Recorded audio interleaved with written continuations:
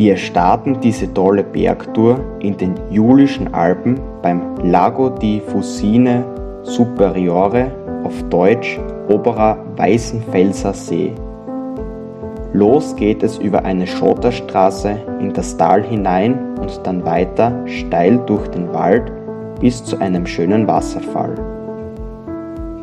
Dann geht es wieder steil mit leichten Kletterpassagen über eine Wiese zu einer Biwakhütte. Von hier geht es über den Via Verata Italiana hoch zur Mangachate, wo auch die Grenze zu Slowenien ist. Von dort klettern wir weiter über den Verata Slovenia zum Gipfel auf 2679 Meter.